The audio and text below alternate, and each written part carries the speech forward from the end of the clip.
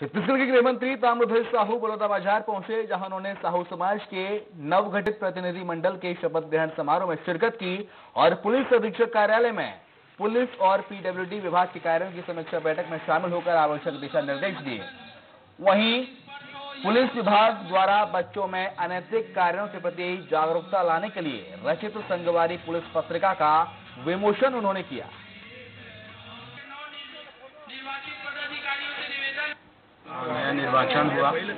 हमारे वरिष्ठ अधिवक्ता धनंजय साहू जी अध्यक्ष बने हैं, उनकी पूरी टीम बनी है। आज शपथ ग्रहण समारोह था। हमारे प्रदेश के अध्यक्ष आदरणीय अर्जुन हिरवानी जी, हमारे मोतीलाल साहू जी हमारे राष्ट्रीय कार्यकारी अध्यक्ष हैं, सबकी उपस्थिति में शपथ ग्रहण हुआ। को जोड़ने का हमारे समाज में प्रावधान रखा है। बार पांगर से लेकर के प्रक्षेत्र तहसील और जिला और प्रदेश तक के एक एक महिलाएँ पहुँचती हैं।